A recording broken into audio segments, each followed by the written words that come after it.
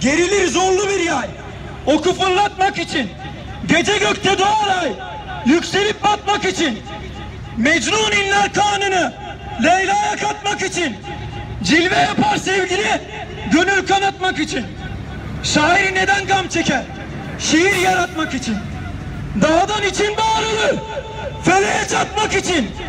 Atılır tatlı güller. Arılar tatmak için.